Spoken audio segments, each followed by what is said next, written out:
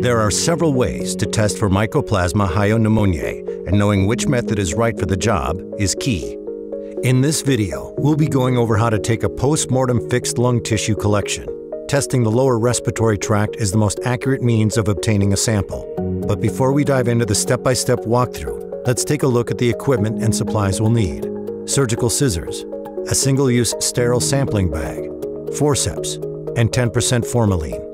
And for the best chance at a clean sample, make sure you have the following supplies personal protective equipment, a permanent marker, disinfectant wipes, a trash bag, storage bags for samples, a submission form, and mailing and packaging materials.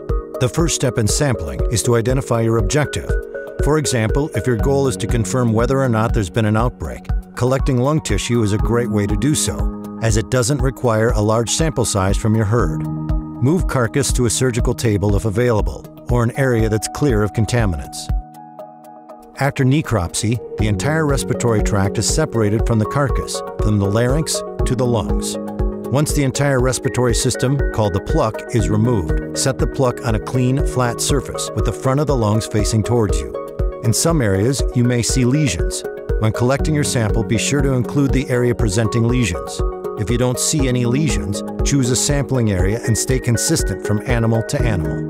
Next, use a knife or scissors to remove approximately one square inch of tissue between the infected and the healthy areas. Sample size of fresh tissue can be larger. Place tissue in a single-use sterile sampling bag.